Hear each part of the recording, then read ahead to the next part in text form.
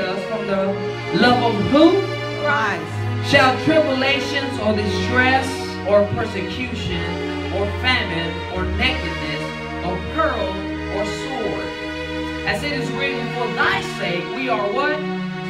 Killed all the day long. We are counted as sheep as for the slaughter. The Bible says in 13, says, Nay, in all these things we are what?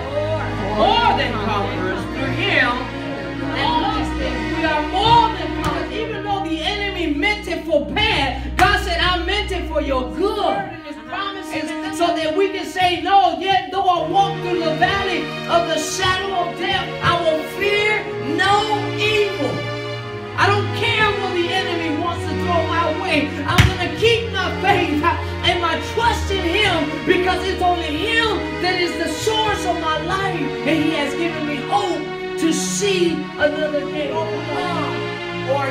We declare that you are an overcomer and that you shall be.